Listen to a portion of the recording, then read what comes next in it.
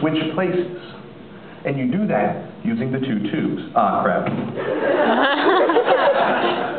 you were supposed to see that, but we'll do it anyway. I can still do it. Don't worry about it. You cover the bottle, and you cover the glass. And on the count of three, one, two, three, nothing happens. Except for my dyslexic friend Tony. He loves this trick.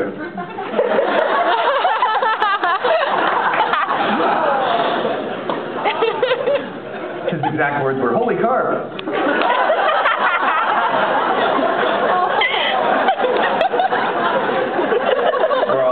All a little bit insensitive for that one. It's because I forgot to say the magic words. The magic words are change. Say Change. it again. One more time. I feel like Obama. Come on. Let's see if it works. Unbelievable. The bottle is now over here. the glass is now over here.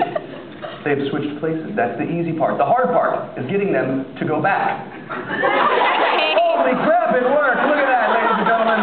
Sometimes I can actually do this for real, but we're going to start from the beginning. Now remember, you take tube number one, you cover the bottle. You take, oh crap, sorry about that. You take tube number two, you cover the glass. That becomes the bottle. There's the glass over here. Don't worry, we'll do it again. You take tube number one, you cover the bottle. You take, sorry, should have done it. You take tube number two, you cover the glass. That becomes the bottle. There's the glass over here. We'll do it using only one tube, but you got to do it fast. If you cover the glass, that becomes the bottle. If you cover the bottle, that becomes the glass. There's an extra bottle. You put that over here. You don't let people see it. Oh. If you cover the glass, that becomes a bottle. If you cover the bottle, that becomes the glass. That means there's an extra bottle. You put that over here. You don't let people see it. Sometimes when I do this trick, I use two bottles, no glasses whatsoever. Of course, even then, you need an extra bottle. This is where it gets crazy.